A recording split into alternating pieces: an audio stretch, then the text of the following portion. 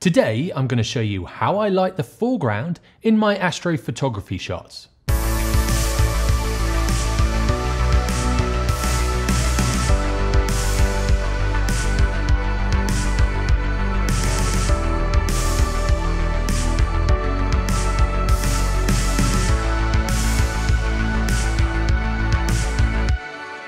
Sometimes when shooting at night, you'll find that you'll be able to get a really good exposure on the sky, but then when it comes to the foreground, it'll be flat, dark, or noisy. You can take one photo for the sky and another for the foreground and then blend them afterwards, but whenever I can, I like to get everything in one shot.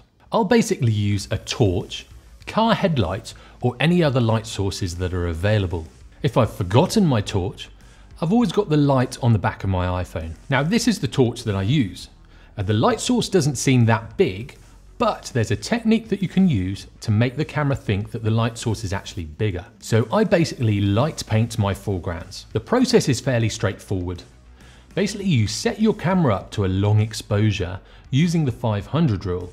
If you're not sure what that is, click on the eye in the corner. You then get your torch out and then start painting in the foreground. There is a lot of trial and error with this process. Sometimes you'll spill too much light on the foreground and it'll be overexposed. Sometimes it'll be patchy, where you won't have an even light source on the foreground, and other times it'll be a little bit too dark. However, as you gain experience, You'll learn what works and what doesn't. You want to look for textures and details that you can amplify with light. I'll normally start by shining the light on the foreground for about 5 to 10 seconds even if I'm doing a 30 second exposure. And this is where you have to experiment. Basically, you want to balance the ambient light with your torch light. As I said, these light sources are really small, and if I take a photo and just hold the light steady, that's the size of the light that you'll get, which will produce a really hard, sharp light. If I move it around, this will then give the impression to the camera that the light is a lot bigger and longer.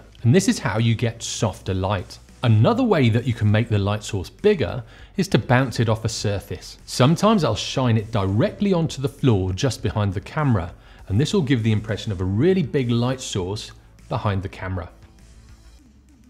Basically, you're following general lighting principles. The bigger the light source, the softer the light. The smaller the light source, the harder the light. So when you're shooting, make sure you've got lots of time to experiment.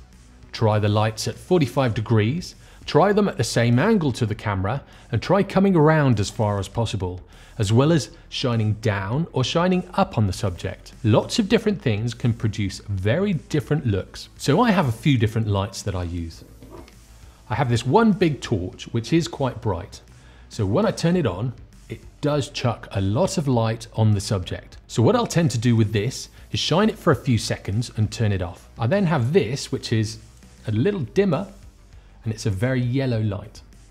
That produces a very different look. Then I have a head torch and this is really bright and sometimes you can take quite unique shots with this with the head torch still on my head looking up and if there's a little bit of dust in the atmosphere you can actually produce like a strip of light going up towards the Milky Way. Another one that I sometimes use is my iPhone.